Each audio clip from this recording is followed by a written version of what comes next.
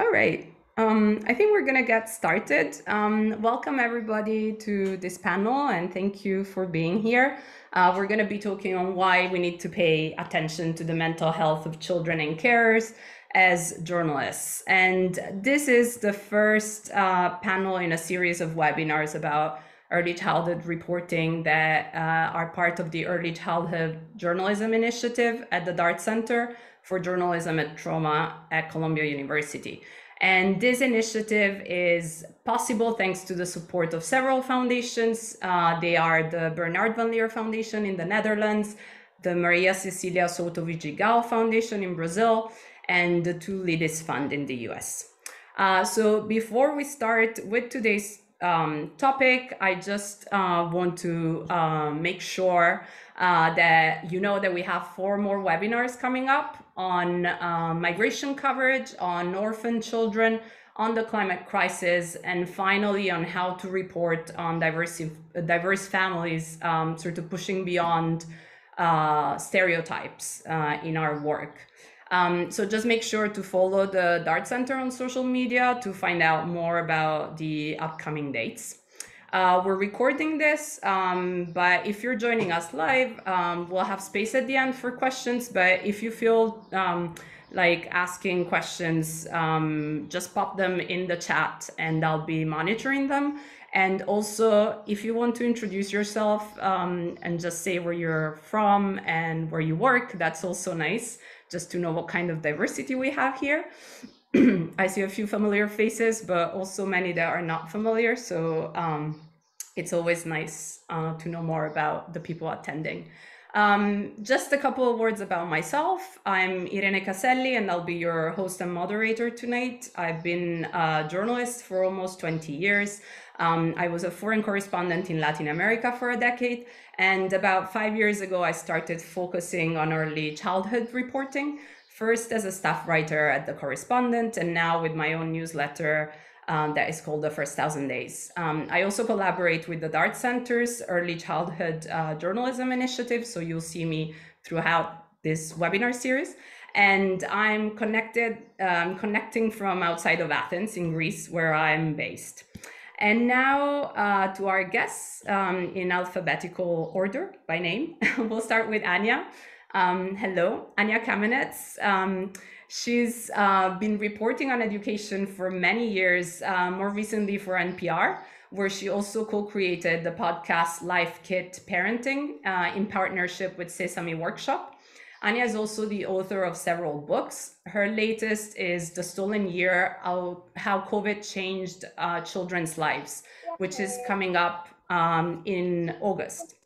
Um, she was named a 2010 Game Changer in Education by the Huffington Post, received 2009, 2010, and 2015 National Awards for Education Reporting from the Education Writers Association in the US, and she's joining us from New York.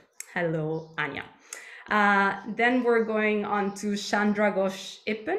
She's a child trauma psychologist specializing in working with families with children under the age of six. She's co developer of child parent psychotherapy and the associate director of the Child Trauma Research Program at the University of California, San Francisco. She spent over 30 years conducting clinical work, research, and training in the areas of childhood trauma and diversity informed practice. She's also an award winning children's book author, and she's joining us from San Francisco. Hello to you, Chandra. And then, last but not least, uh, Tanmoy Goswami is the founding editor of Sanity, India's first independent reader funded mental health journalism platform. Before starting out as an independent creator, Tanmoy was a staff writer at The Correspondent with me associate editor at ET Prime, uh, the subscription based news venture of India's largest business newspaper, The Economics Times, and head of the desk at Fortune magazine's uh, Indian edition. And Tanmoy has co authored a paper on suicide prevention for the Lancet Psychiatry and contributed a chapter to a book on leadership lessons from the coronavirus pandemic. He's joining us from New Delhi in India. So, hello, Tanmoy. Um, so again, why mental health? Uh, we decided to dedicate uh, the first webinar in our series to this topic because we often get our conversations about mental health wrong and forget uh, that it is intrinsically connected to the child's environment, um, including to the experiences of uh, parents and caregivers, and it is influenced by a lot of external factors like war, poverty, disease, and access to opportunities, and also to funding. So we want to start um, by talking about mental health because it is in many ways what informs a lot of our reporting on other issues as well that involve young children, like migration and climate. So, just to get uh, us started, I would like to start uh, by asking Chandra, who's our expert here. Um, we would like you to tell us um, what, as an expert, you would like a journalist interviewing a young child to know and to have very present on their mind when they start off with their work. Okay, Thank you. So let's start with a basic understanding of child trauma. And I'm going to share my screen so I can show you some pictures and share some metaphors that I often use. So I often describe trauma as a big, ugly cloud. And this cloud can affect how we see the world and how we see the road ahead of us. It can enter our bodies and weigh us down. And one of the hardest things for a parent is when something happens to their child and that this is a cloud that hovers over the parent and the child and it can affect their relationship. Now, many of us have been taught culturally that when there are clouds, we have to keep moving forward. We run from the clouds. And that often works, except when things happen. So, when we become a parent, key transitions in our life, when we get sick, lose a job, we often trip and fall, and our history catches up with us. And I tell folks that this isn't the only way to deal with the clouds, that we've learned a lot, and that we can't erase history or leave it by the side of the road, but we can stop it from haunting us. And we do this by turning and facing the clouds with someone that we love or someone we trust. And this idea that if we can make experience, if we can make meaning of, of our experiences and connect in our guts to the emotions that are associated with that experience, we transform it and we carry it differently. And if you look at the picture on the right, you know, you see that little people need big people to help them carry that experience. We say that caregivers are the co creators of memory. And if you look at this picture, you can recognize that when people carry their history this way, they're often stronger than others, that they have muscles. Now, this next picture symbolizes the concept of the protective shield, this idea that little children believe kind of naturally that their grown-ups are all powerful that no matter what they can keep them safe from danger and so in the words of circle of security they believe that we are bigger stronger wiser kind and that this is a core aspect of attachment theory because it's when you believe that your grown-up kind of basically has your back that you can explore the world in good and healthy ways and learn and unfortunately, when you have a young child who's experienced danger, even when it's not the parent's fault, they can feel as though their parent should have been able to keep them safe. And so this kind of sense of protection in this you know situation with danger, it vanishes. And there's this feeling of being stranded. Where are you? Where were you when this happened? Which is often compounded because we as grown-ups don't really know how to talk about little, talk to little ones about their experiences. And so they're alone with these experiences of danger. Now, if we look at this picture, I want you to hold that this is a picture of danger, but it's a picture of danger with connection and protection. And this one here is a picture of danger without connection and protection. And as we look at it, if we shrink ourselves down and think about being that kid, we want to think, how do you survive? And that's where that might take us to common stress response pattern, to those things that we might actually call mental health challenges or behavioral health challenges, right? So, fight. Somebody's got to fight this thing. Flight. Let's survive by running. Freeze. Maybe I need to hide. Don't move. Maybe I pass out and dissociate. Or maybe friend. Maybe I learned that what I need to do is to keep everyone happy. I need to tiptoe around everybody, even at the expense of my own needs, so that bad things don't happen. Or maybe I need to behave like the scary thing. I need to be just as big and bad. And we call that identification with the aggressor because maybe if I'm like them, it won't hurt me. Now, animals can also help us understand common ways that we can respond to danger. And these are characters from a story that I wrote. And here you can see that the dog at the top. So, dog kind of shows us that sometimes we bark and growl and we carry that fight response. Rabbit is the runner. Turtle reminds us that some people slow down and hide in response to stress. Um, monkey clings and has separation anxiety. Skunk pushes people away with their stinky behavior. Squirrel talks endlessly in, about this and constantly is eating. And these are sort of symptoms of re-experiencing one of those hallmark PTSD clusters. Frog, you know, loses their voice, and that's sort of a sign of sort of the developmental regressions that we often see in little kids.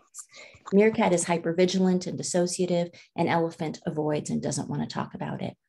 Now, we help young children when we recognize you know, when we see these behaviors and we recognize that they're from a fear response. And we start by first acknowledging danger. And then really the kind of the, the orienting goal is that we need to rebuild the protective shield, right? We need to rebuild the idea that grown-ups can keep them safe. And if their grown-ups have challenges, we have to advocate for services that support their grown-ups because of course they have challenges. They've been through so much. And if that doesn't happen right away, we need to help children see that in general, as a community of grown-ups, we work together and that we keep them safe and we keep them connected to loved ones and well cared for. And if this isn't happening, and in some places it isn't, what we see is a rupture in our social contracts. And that's very important. And when that danger is very big, what we know is that it's not sufficient just to have parents. I mean, parents are very important. They're the closest thing to the kids, but families need communities to act as a protective shield and buffer them. And they need our society to act as a protective shield. Um, and this is where we sort of jointly acknowledge hey, there's danger out there. And we take steps to repair harm. We have policies that repair harm. And we look at our fellow community members across the world as how can we support you in having safety, which is a universal need. Now, as journalists, you play a key role in helping society to see the harm. You honor people's stories and you help them feel heard, and you move society to action when it's needed. And so, this is critically important. And even as you're working with a family, the idea of helping them to metabolize their story and balancing the waves of emotion that might hit them as they're telling their story, those are all super important and things that I hope that we'll get into as we continue our discussion. Thank you very much for that, Chandra. I think it's a really interesting framework that we can come back to uh, throughout this webinar. And it's also a really tall challenge for us, very big challenge for us journalists, I think. Um, and so I have Anya and Tanmoy here. They've both worked um, with children within education on mental health uh, issues. Um, so Anya, I want to come to you first when it comes to some of the things that that Chandra was um, mentioning. How do we sort of keep these frameworks in our mind when sometimes the work is so fast? Um, we need to go in, interview someone, uh, try to be respectful, try to honor their story, but also get a sense of how complex their their you know mental health world is um, when they're children and for their family and society as well? That's a huge question. I think that um, there's a real ethical obligation on us as journalists to understand why we're doing what we're doing, why we're seeking the story that we're seeking, and that we make children and their caregivers our partners in that process of, of finding out how to tell a story. So, you know, um, and that that requires really being uh, clear and honest with ourselves about our intentions and what type of story we're trying to tell. Uh, i think in the best case scenario so um, i was recently in ukraine and pretty much everybody that i talked with had been through a recent and severe trauma of losing their homes and sometimes of other things as well. Um, and so, you know, there are definitely several layers of this. So, talking to, for example, the service providers that had been working with the families to get a, a big picture sense of where they're coming from and the types of things we're likely to learn in an interview. So, doing that pre interview where you really understand the surrounding situation. Um, and then there's sort of the difficult negotiation of, you know, who comes forward to tell their story um, you know that has to be their choice and we can't always you know talk to the people that you not everybody's prepared to speak in the same in the same way at the same time. Um, just as um, you know we saw in, in chandra's presentation people have different responses. And i certainly relate to a lot of times the people that are ready to sit down and talk to a reporter are having that kind of like intense recitation like word. They're going in every single moment of what happened to them. And, and that sort of uh, it can be uncomfortable sometimes that you can kind of recognize that this is a situation that happens um, in in um, in, in in trauma response. Um, I also really think that even in the you know if you want it to be helpful for people to tell their story to you, um, and we hope that it is not just helpful for the audience but helpful for the person to tell the story, um, that they need to experience in themselves as agents in that telling and um, there are different ways. I always try to take time in any interview, but especially with young people, to get to know who they are outside of this bad thing that happened. Um, what is it that they care about? What is it that they love? What is it that they look forward to? And um, the other part is, uh, you know, making sure that they have the open-ended moment to talk about um, what would you say to other people going through this situation what do you want people to know about what what happened here um, and also starting and ending the conversation on a positive point. Um, and I, I, really had an unexpected, um, unexpectedly lovely moment in speaking to a teenager recently uh, about you know i basically what happened how do you how do you cope? What are your coping mechanisms? What are you doing to help you with what you went through? Having to leave your home losing your grandmother in the war having your school destroyed and he said, you know, I do all these things. I listen to music, I paint and draw, I call friends, and I also write poetry. And he read us one of his poems that he'd written, um, which was really beautiful and moving, and also helped me see him as more than this traumatized boy. Thank you for that, Anya. I'm seeing Tanmoy nodding um, over here. Um, and Tanmoy, you obviously mental health is is what you report on. Um, where do children fit in uh, within your own reporting, and how do you, um, you know, how how how can you sort of make justice and give agency to children when you're reporting on something as delicate as mental health? Um, thank you for having me. I'm a very big fan of all three of you and some of the people who are on the uh, on the call listening in. Um, I think I was reminded when uh, even as Anya was speaking, I was reminded of a conversation I had with um, a conflict medicine expert, um, a psychiatrist who has worked in uh, war zones, uh, Joseph El Khoury. And he said he was talking to me about the Syrian war and um, he was uh, narrating a story involving a woman, a grown woman. Um, and he said, you know, everybody around that person was trying to talk, trying to get her to talk about the war and what she had experienced and um, you know what she had left behind. And she just wanted to talk about her mother-in-law. She did not want to talk about what it felt like to live in the tent and the constant bombardment and the violence and the loss of life. And and I think that's the first principle that I have kind of I try to in, internalize as a journalist when I started out in this field was that I think like doctors, we need to take that sort of first Hippocratic oath, which is first to do no harm.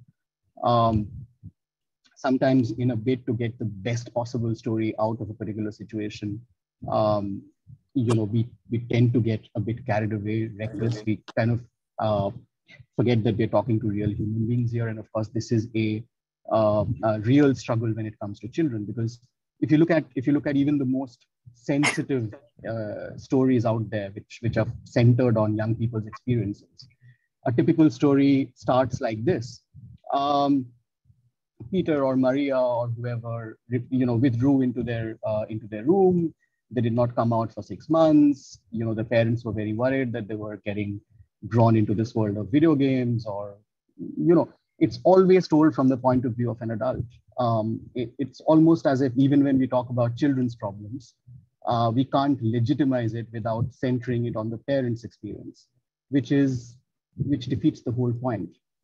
And I think I am um, as as a uh, as a journalist, as a user survivor in the part of the world that I live in. Um, it is a, a, unique opportunity for me to always remind myself of what we are reporting about because, and I'm going to just sort of quote from a book that recently came out in India. And trigger warning, I'm going to talk about suicide. So if anybody is uh, uncomfortable with the subject, please uh, tune out. Um, this is a book called Life Interrupted. This is by far India's probably you know, the first and most accessible book on suicide. And there is a chapter here called Not Too Young to Die.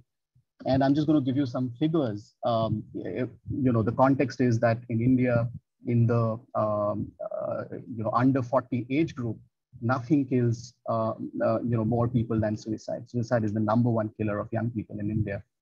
And here are some here are some numbers from the pandemic years. So suicides among children under 18 rose from about 9,600 to about 11,300 um, in 2020, which was an 18.5% increase.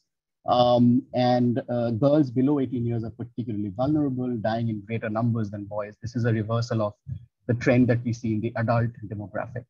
Um, while the gender ratio for overall suicides is 2.4, which is two and a half times more uh, men than women dying by suicide.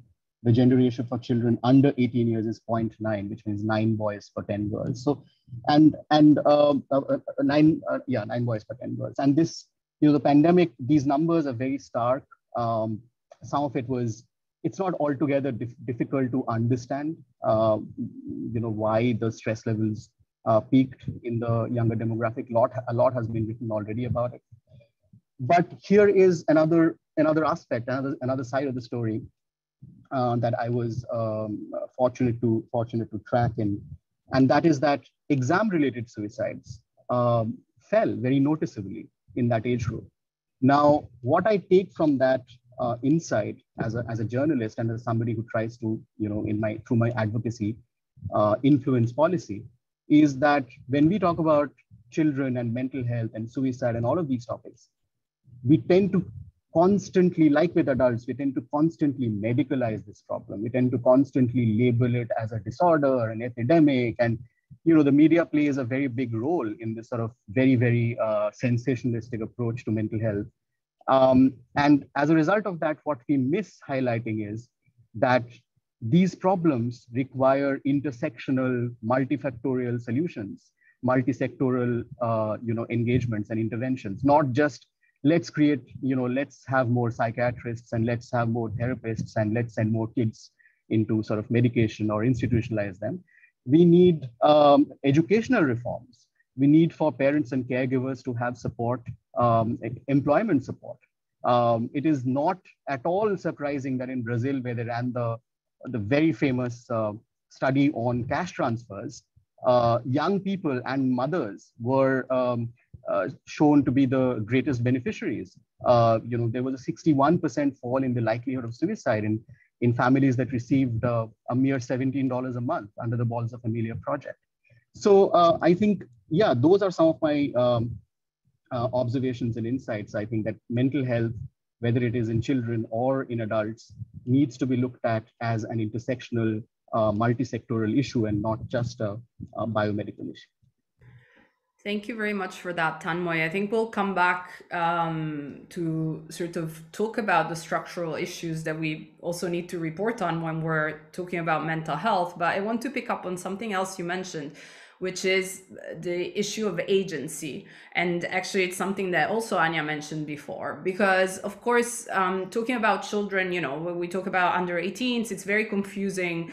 There's such a range of ages and sort of ability to communicate. Um, and we are trying to sort of think a little bit more about early childhood. And so the zero to five sort of idea. And how and and that's where i want to go back to chandra how can we um, give agency as uh, interviewers as reporters? Um, how can we respect the agency of children so young um, in uh, you know in interview settings but also you know tanmoy was uh, making an example of uh, was giving an example of how a, a typical story would start always from the perspective of a parent but how do we see the perspective of a child when probably we can't interview them especially when they're very young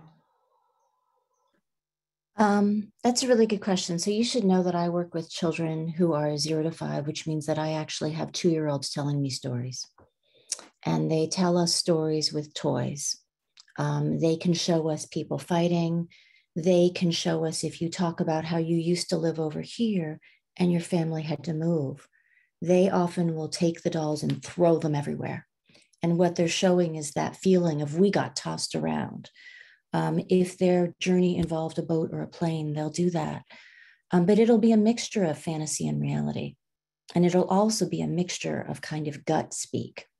Um, and so if you're looking for the thread of truth, know that you're getting the purest truth, but it's not always fact, it's gut speak, it's fear. And that's something that you have to hold. And I'm not sure how you report on that, except for to really listen and to think about this is what our children are showing us is that their insides are crumbling, that their world is destroyed, and that we have to really hold on to the impact on the parents. So when you're talking about the suicide rate rising, guess what? There are kids in that home. There are kids who are often the people who find the grown up who has had the attempt and who are sitting there. And that you don't go in necessarily to interview them, but you shine a spotlight on what are we doing to help the whole family. That, you know, there is too much of us are saying, oh, they're so little, they won't be affected. And you're actually, when you say things like that, you're giving the wrong theory and the wrong framework. And even as a reporter, as the first person on the scene, and sometimes as a reporter from another culture where people might say, oh, they're so wise, um, they might believe you. And so I want to just correct that misinformation first. And then we listen to see what are their behaviors showing us? How do we report on what the changes are in the child? That they're not eating, that they're not sleeping, that the parents are distressed, that this is their environment, that their world has changed. And then how do we not make that the whole story? Because these are thriving children. So, and these are little beings. And I really want you to think about how do you protect their names? Because even when somebody gives consent, right? We want to protect their names and their images because people can Google themselves. And when they grow up, sometimes we share the details of their trauma because we want the world to see this. But when you grow up and you're a teenager, those same details splashed in the news can make you feel really icky when you're a latency age kid. So I just also want us to think about how we act as protective shield as journalists in terms of thinking about that. And that can I just I'm gonna say one other thing, but like when you're with a kid, I often tell people that I do what I call soundbite therapy when I work with parents. And we notice that children, they will sometimes start telling you something in their way with toys. Sometimes kids, you know, four or five with words straight out, they'll tell you. And then you'll notice that some kids, as they're talking to you, it's like their bodies are getting full of stress hormones. And they're so, sort of saying, you know what, I can't do this anymore. And I want you to listen to the wisdom of their body and to think about what they need to do. And what they might need to do is to cuddle with their caregiver, who hopefully is there with you. They, because they're their regulatory partner. They might need to draw, they might need to cook, play cooking. Um, they might need to get something to eat. But you'll notice sometimes that if you stick around, so you have to have longer periods of time, that if you stick around, they'll return to the subject. So they do these things in little sound bites, in these waves where they they regulate and return and regulate and return. And that's sort of a pattern that we need in therapy and it's a pattern that we need in journalism as well because otherwise what you're doing is you're forcing the body to go at a pace that is not good for the body. And they have these little bodies and so they know I can't deal with that much. Yes, um, that is um, yes that that that is something that sometimes we don't have right? The time to come back. And especially you know i'm thinking anya back to your experience in ukraine. You were obviously talking to slightly older children mainly but you know how do you um you know did you find yourself in any situation where you had to sort of move back? Or i mean i'm sure you have throughout your career but um it's always you know, also Tanmoy, feel free to jump in. It's always hard with examples. I know there are loads of journalists on this call, mainly journalists, so feel free to uh, share examples as well, because I think it's very helpful. And Chandra can maybe also help us um, understand things that happened uh, to us throughout our reporting um, when we were suddenly faced by a child who ran away or a child that decided to start talking about something different. Mm-hmm, mm-hmm. Yeah, I mean, I think with little ones, you really are in an observational mode and you're hoping to get them in a setting where they feel comfortable, where you can see them doing different kinds of actions, activities, and really kind of just observe their energy. Um, in my book reporting, I was following families over the course of a year. So I had that privilege to drop in over time and get to know the kids.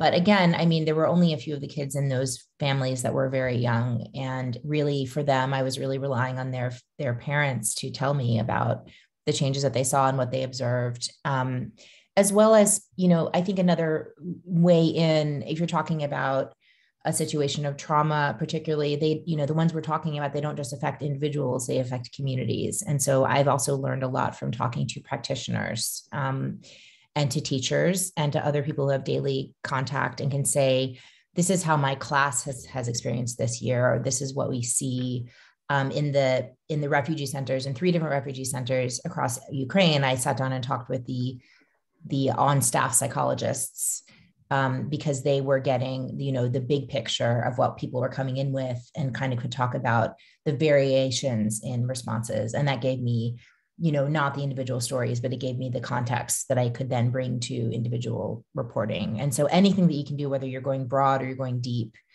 um, and obviously over time is the best is the best thing to do and, and you know give the amount of time that you can give. Um, and and the more watching that you can do the better. I mean also just with building rapport i mean helping you know where kids can you know playing or showing showing you their favorite activities or favorite things they like to do and you know without directly going at kind of the tough the tough questions right away.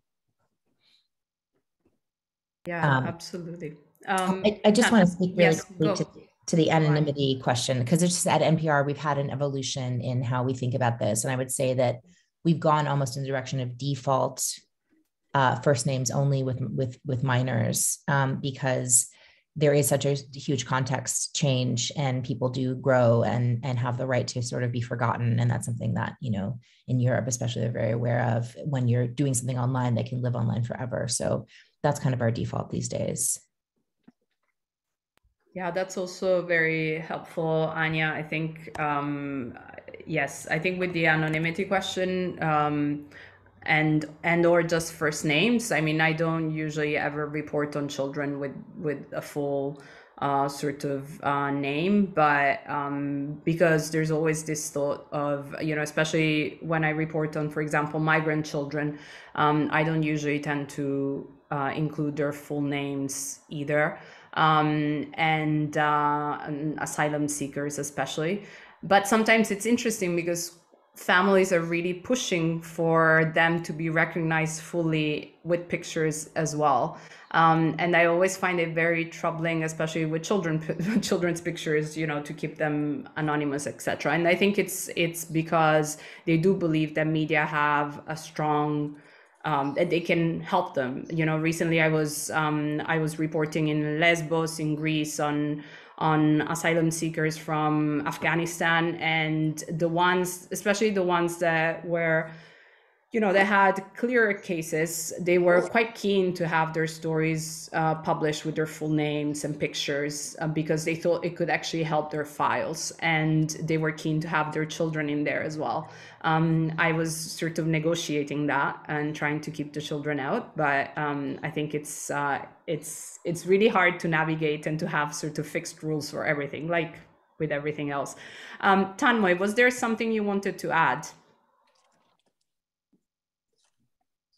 Um, yeah, I mean, I, I must admit that I find it terrifying to, to interview young people. And not just because i'm constantly i constantly feel like i have to walk on eggshells or whether I'll trigger their trauma which are all very very serious concerns. But i am i feel very very uh, vulnerable and frightened i feel very vulnerable and frightened uh, because these at least the young people that i've had the privilege of talking to they are phenomenally intelligent sensitive uh, smart people and when they look at me, they don't look at me first as a journalist. They look at me as an adult who is partly responsible for landing them in the shitty landscape that they find themselves in today. so, so I have to acknowledge that. Sometimes we go into an interview thinking that the other person is looking at us as we look at ourselves, which is as reporters and journalists. But what the other person, especially if it's a, a young person, is looking at is a grown person. Uh, and there is a lot of anger. There's often a lot of anger that you, you're part of the problem. Uh, and so why should I tell you my story? What, what will come out of, the, uh, of this conversation? Um, so I feel like whenever I go into a, and uh, you know, just to just to briefly um, uh, steer away from, from trauma as a topic. Uh, if you remember, Irena, we had this uh, incredible experience at the correspondent where we had invited a bunch of young people to talk about climate justice. And I remember the energy and the conviction and the sort of really intimidating passion that they that they brought to the table. And as an adult person witnessing that, I couldn't help but feel very uh, almost embarrassed that you know, I mean, how can I? And and in the act of reporting, there is uh, ingrained a power hierarchy. When you are the one who's asking the questions, you are the one with the power, right? And that never goes away, no matter how much, no matter what, um, um, how mindful you are in your in your interviewing. Um, so when I go to speak, when I try to speak to people, I often will speak to them two, three times before I actually speak to them about, you know, whatever my goal is. And uh, I have often realized that um, uh, you know, with, with, with particular demographics, with young people, with old people, with young women, we go in with a lot of preconceived notions and we fit, want to fit these people and their stories into our hypotheses. And, you know, very often you will be surprised and you'll have to give yourself the, the latitude to deflect and tell a different story. If you're, if you're, if the cast that you're talking to says, uh, hey, this is not who I am, you know, don't talk to me as if I am this you know, poor little boy, a girl from a very uh, traumatic uh, context, talk to me as a climate change expert, talk to me as a gaming addiction expert, talk to me as somebody who understands a lot about how to, uh, you know, even support my caregivers, my parents. And a lot of children grow up incredibly fast in, in uh, conflict situations, in, in difficult situations. So they want to be talked to as experts, not as subjects. And uh, you know, I just go and I just, I basically just throw up my hands and say, you know, I probably know not even 10% of what you know already about climate justice and what it means to live with climate vulnerability. So please, can you help me understand what, what does it feel? And I, I generally don't go with scripts and questionnaires and things like that. So, but I still find myself horribly ill-equipped to talk to young people, to be frank. Yes, I totally agree, Tanmoy. I think um, it's happened to me that I've gone into. Um, I reported a lot on on sort of the migration route also out of uh, Ecuador towards sort of North America. And I remember going to this town where there had been, you know, loads of people had disappeared in the Mexican desert. And I went in with such a heavy heart. And I was just so worried about, you know, kind of getting the right questions, etc. And I remember these children in this hut, and, you know, they were sort of the classic, uh, you know, development migration reporting subjects, meaning, you know, they lived in very poor conditions. They just possibly lost several family members um, all they wanted to talk to me about was uh, football and they wanted to show me like how they were playing. We're talking five six seven year olds you know? Of course i wasn't going to interview them about what had happened to their family but i think it's also very good to go back to the drawing that chandra had. There's such a variety of reactions to things that are difficult and um, and a lot of them may be sort of focusing maybe on the positive i want to say and and or on what's around you know the play of foot the, the game of football. And so i think also in that sense it's very important to be listening and to be observing and to step out of you know the idea we had when we went in reporting. Chandra i'm seeing you sort of thinking about what i just said and i would love to hear um, your thoughts and then i'll go to one of the questions from uh, the listeners yeah, my insides are churning because I so want you to talk about football and I so want the world to know the pain of these kids. And so many kids, like the fact that you can't talk about your brother because it hurts your heart so much, we cause that. Um, I work with kids who you can't say the word mother around them, or they go and they scream and hide under the table because it's so painful for them what's happened. And so their avoidance comes front and center. But if what we report on is, oh, the kids are playing football, then do we do damage because as a society, we're like, well, see, they're resilient. And what we know is that trauma leaves a trace. What we know is every birthday, they're sitting there with a hole in the heart. And to the degree that they can't talk about it, it actually hurts them. And so look at certain things as avoidance. There are certain things you should be able to talk about. We have children who you bring out a medical kit and they run screaming from the room. That's not typical.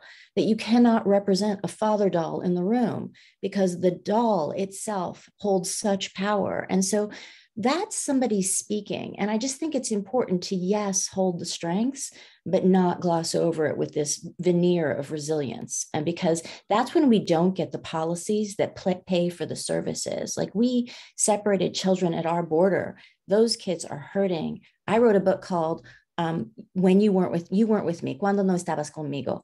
They've been reading that with immigrant families in Salinas. The minute they open the door with that story, that is all the families have done for the last two weeks because the story opened the door because they saw themselves in that story. And then parents started talking about it with their kids. What was it like?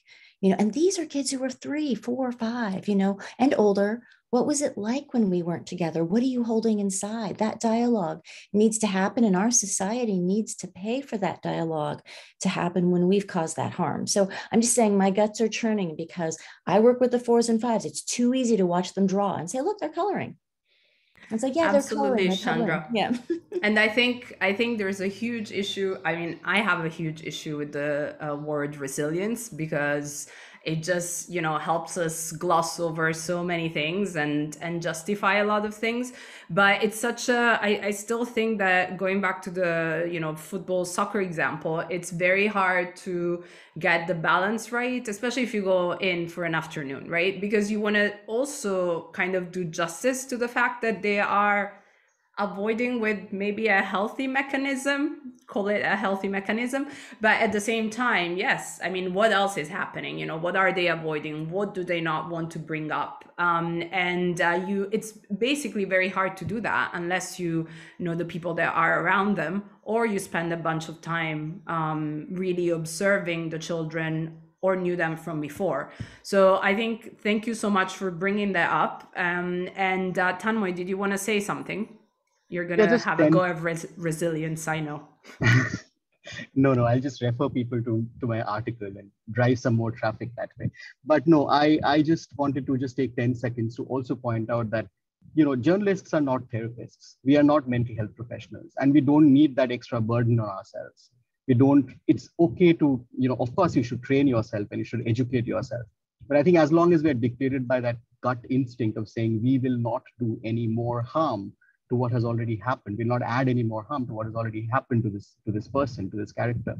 Um, we should not we should not be sort of frozen, uh, thinking that we are going to you know because then we are not doing the job that we are supposed to do, right? So. So I think uh, it's important to also sort of uh, give yourself, be vulnerable, and give yourself that that allow yourself that humanity. That you know it's all right. You are not a trained expert um, and it's really a travesty that, I mean, we probably wouldn't even have to have this conversation if every newsroom in the world were to educate people on somebody mentioned trauma informed reporting. Um, this should not be happening in sort of specialized sessions funded by two universities somewhere in the West. This should be happening in every single newsroom in the world. Um, and then we wouldn't have to have these little cloistered conversations. So, but I think, yeah, it's just, just something that helps me uh, remain grounded is that you know at the end of the day i'm not a therapist and my trauma can also get triggered by a lot of these conversations so it's important to, to allow yourself that space and that vulnerability i think Thank you so much for that, Tanmoy. And I think it's also important to do to to mention that that we also carry our own traumas, our um, and and that our own reactions. We also need to watch out for how we look after ourselves, um, especially in very challenging contexts or in contexts that can trigger us. Um, I just want to um, take advantage of the fact that we're talking about sort of trauma informed reporting to uh, read out a couple of questions. We have Indira who's asking what mistakes in the interview or in our coverage could fuel the drama. And then we also have uh, asking which words, oh, that moved, which words are appropriate to avoid making them appear as completely hopeless. So maybe I want to go to you, Chandra, to sort of take um, these two questions and um, and brainstorm storm together. I can think of a bunch of words that I like to avoid. One of them is victim. It's very hard to avoid the word victim sometimes, but you know, I, tr- I try to do that when I can. I um I would wonder whether one of the mistakes would be because I'm not a journalist or you know haven't done anything like that for years, but would be to privilege story over emotions, over affect. And um, because you can feel it when it's happening. You can feel it when someone's numbing out or you can feel it when they're flooding. And so our humanity comes first and that's with some people we do what babette rothschild said we put on the brakes and you do that by reminding them of your connection that it sounds really hard that right now i'm with you right now you're telling me about something um, and it's you know you're remembering so we differentiate between remembering and reliving. And we privilege that. So that's really important. And with a young child, a big mistake is to not involve their regulatory partner because you're not their regulatory partner. And so, really thinking about co regulation as opposed to coping. Um, and even in a shelter, who is that person's, who is that child's person? And how, when you're done talking about this, might that person help? The other thing is to actually go into it with doom and gloom because the truth is they know that this happened and what they're looking for is an available mind and available heart and to the degree that rather than just kind of being down with our paperwork we're actually feeling them you we have mirror neurons and when someone feels us we transform it and so even you're not therapists, but we are all humans. And when someone feels you and hears you, that is part of your healing. It's a step towards it, even if it's just for five minutes. And so it's very important that you go into this also with hope that this too can be spoken, that a four year old can talk about this, and that when you see, when they tell you about their worst moment, you don't see them as destroyed right? That that's that's also very important that you hold the hope of looking at this full person this full little being.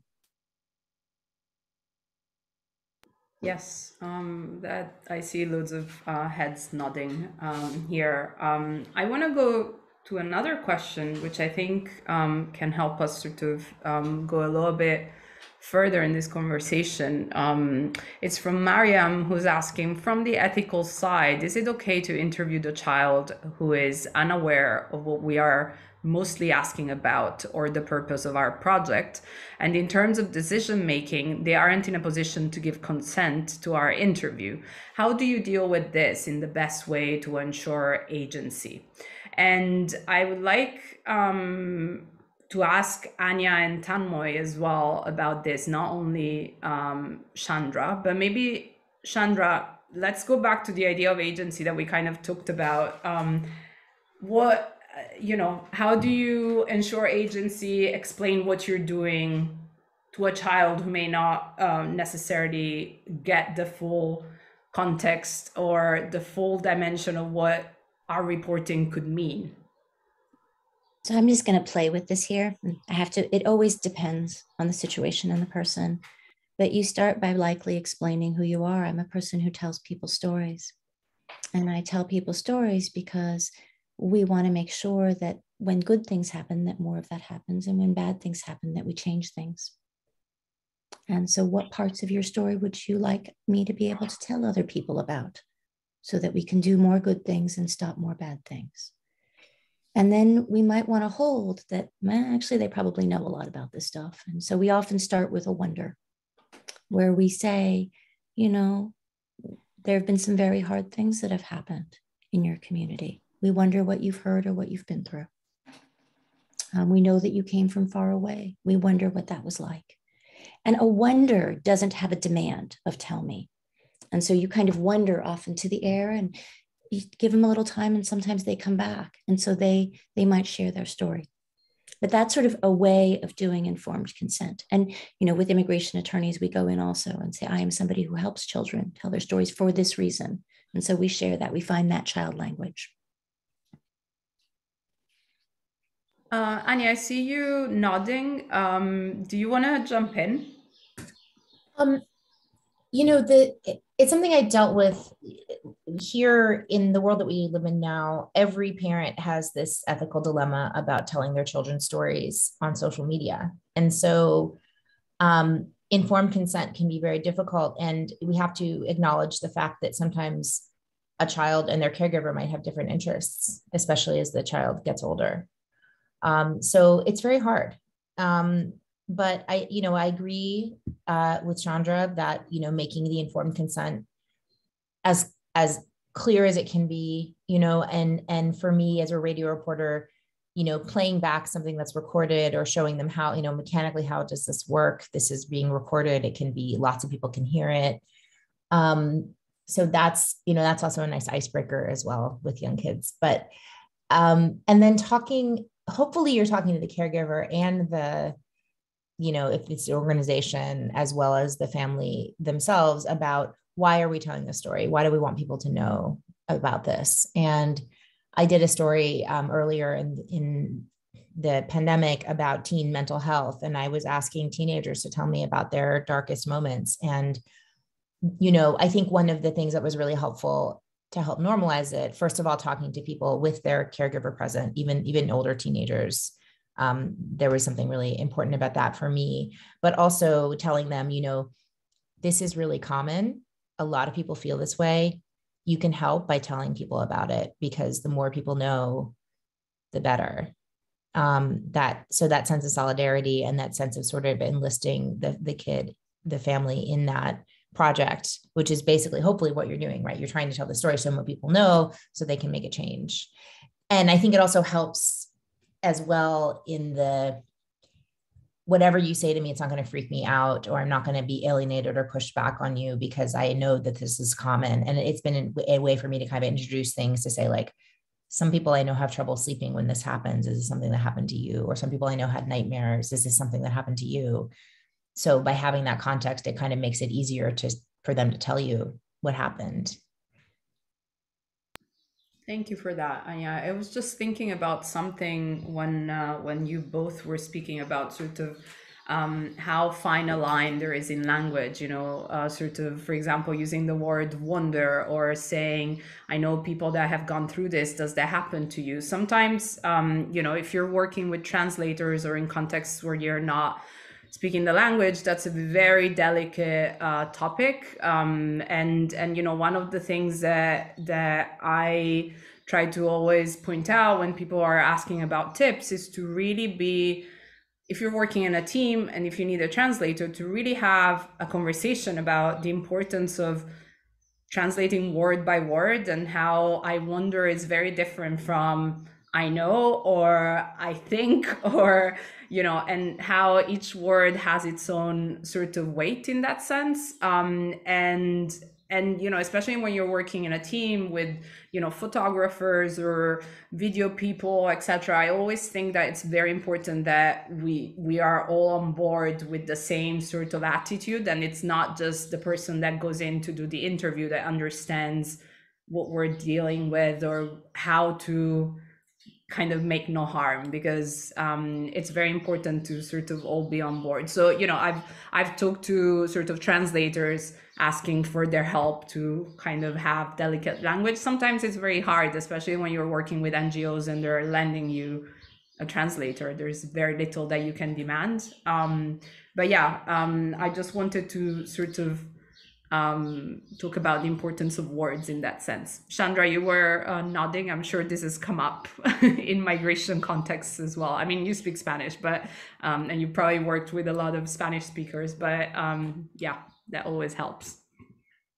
Um, I want to go back to um, another um, to to a topic that we were sort of touching on before, which is structural issues, right? Mental health cannot be sort of seen uh, as independent from structural issues. Like I think about the US, like how can you talk about mental health of, you know, babies and caregivers without talking about maternity leave and, you know, loads of other policies and formula shortages and, you know, gun violence to name a few. But in India, there are so many others, including um, little funding when it comes to mental health. So I um, I guess Tanmoy and Anya, I would like to sort of um, you've both reported on the structural issues around mental health and the mental health via structural issues. So maybe Tanmoy, let's go to you first. Um, you know how how connected they are. You were mentioning it before, but let's think about it again. Uh, yeah, sure. Thank you. Um, I often get the feeling that we we use the term mental health when we don't want to talk about things things like uh, violence and climate change and and you know all these other i mean there is this psychiatrist who's a mentor of mine in india dr Soumitra Pathare, and he he said something very striking um, which is that a lot of the world's problems get created elsewhere and then they're dumped at the doorstep of the mental health sector. Um, and and this is so true. And just to give you one example of of a huge structural problem that just does not get talked about especially in the Western media.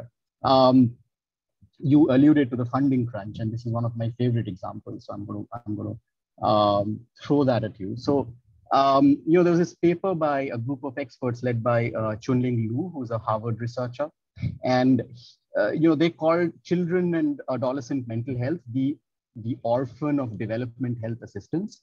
Now here is a uh, just for just for context. So uh, development health assistance is, you know, essentially foreign aid uh, that comes into the healthcare sector. Now, between 95, 1995 and 2015, over that 20-year period, and that's the latest data that I, that I have, uh, funding uh, towards mental health by donors uh, went up from about $18 million to $132 million. This is in the low and middle income countries, LMICs the the you know the jump seems quite pronounced from 18 million to 132 million. Of course it's a laughably small number in absolute terms.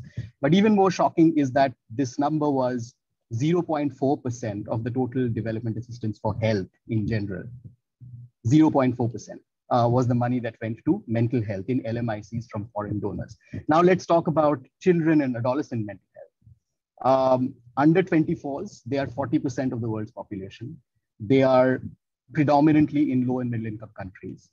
They account for 25% of disability adjusted life years for uh, mental disorder and substance use.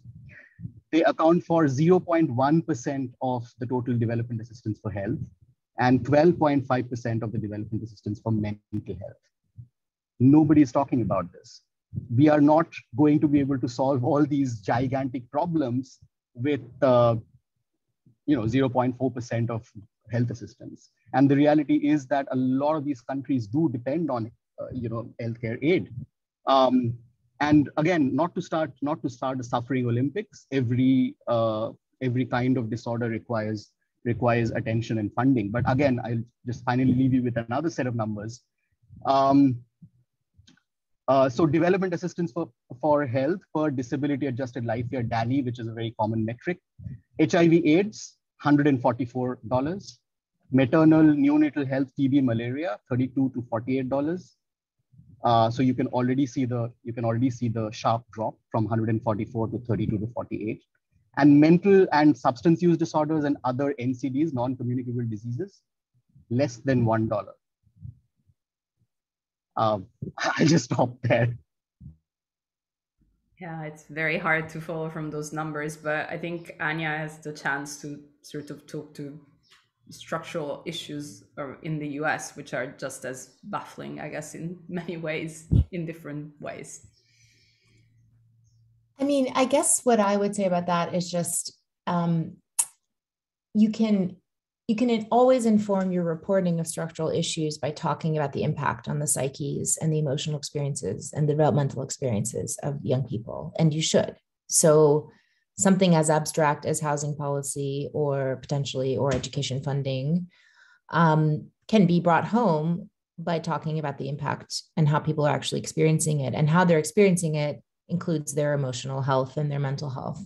So to me, it enriches the structural reporting to include the mental health aspect. And how I became aware of mental health as a topic, you know, coming as an education reporter, it was from listening to teachers tell me that they can't teach their classes because of the emotional pain and struggles that their students are going through. And they must have social and emotional learning, development, and support in their schools in order to maintain um, what they're doing. So that's really the um, I mean, that's where that's how it got me here. I can't be an education reporter without being a mental health reporter because there is no much education without mental health. So I, I see mental health as being inextricable from any structural issue that you want to report on, as long as it affects people. Yeah. Uh, Chandra, I'm seeing you uh, nodding heavily. Please jump in. I mean, I think we're seeing people start to make that connection. And as they do, they're moving towards trauma. And as you move to trauma, I wanted to sort of broaden the lens, which I see a lot of you doing, but you've probably heard about the adverse childhood experiences, the ACEs, right? And so there's a lot of people who start to do heavily ACE focused reporting. And I, I just wanted to share my screen because I wanted us to think about this is Bronfenbrenner's model. When we think about structural, children live in families, families live in communities, communities live in society. And when we start to awaken to trauma, we often focus on the layer of the family, on what is happening there abuse, violence, and other things. And we call those the ACEs. But it's very important that you maintain a focus on the adverse community experiences, on poverty, on racism, on the things that we're talking about, structural inequalities, what Tanmoy brought up. And then also that we think about what I call the original ACEs, the atrocious cultural experiences, the what came before that you also talked about, which is often colonization, which is often slavery, which is often boarding schools. And so that we have this full picture. And I know that that's a big ask, but I just want to say that when you only focus on this, oops, sorry, on this layer of the family, you can do damage because the reporting becomes on problems within families without acknowledging the larger context. And so, and if you, the metaphor would be this if you squeeze anyone hard enough from the outside with structural inequities, we will pop on the inside we will fight with those closest to us. And so it's very much kind of a there, but for the grace of God, go I. And so, you know, I've privileged to be protected by layers um, of what, you know, I've been born into. But I think there, there is this need for recognition of the broader picture. And so I just wanted to bring this visual to your mind so that you could think about when I'm reporting on this, how am I raising people's consequent consciousness about the sociocultural context, the broader ecological, historical context that created this? So we're not looking at families from Nicaragua, from El Salvador, from Guatemala, from Mexico as problematic because, in truth, a lot of our policies created those things as they're coming here. A lot of our ongoing substance use and whatnot created that. And so we have to have this broader picture of yes, there was fighting in the family. And the war, the original war started elsewhere, that sometimes the war comes into the family. So I just hope that you carry that into your reporting because people will run with this, these problematic people. And then we actually don't get the funding for mental health. Whereas if we think about this, as my friend Marquita May says, she says, these are our back wages, give them to us. Um, we earned this long time ago, and we deserve to have good maternal health because the reason we have high rates of infant mortality with Black women is because of what happened um, to them, that it made the birthing process traumatic. And we have to get real about that kind of unreckoned historical trauma and the, the, the, need for repair. And that's sort of the, there's been a rupture in protection. And so, how do we repair that? And I do think that journalism plays a role in this, that it's not only yours, it's ours together, but that you play a role in, in, in providing that context when you report. And many of you do that. And I'm grateful for that. Thank you for that too, Chandra. I just um, want to say that we're going to wrap up in just little under 10 minutes, so eight minutes or so. So if you have questions, this is your moment. Um, but um, also, I um, I want to go back to the issue of early childhood specifically because of course it's my own personal uh, passion and obsession. And there is something that um, that we mentioned towards the beginning uh, around still uh, or that Chandra mentioned I guess around the misunderstanding still that children are too young for understanding or for really getting their context. You actually told me a pretty um, like like an anecdote that has been uh, coming going through my mind since you did um, around a bad accident and a two-year-old um, and um, sort of uh, specialists around saying that a two-year-old was not uh, capable of remembering. So i want to handle just for a few minutes this idea of memory and what it means for a child um, under five, but also, you know, under two to keep a memory of things that are bad and how can we respect that then in our reporting?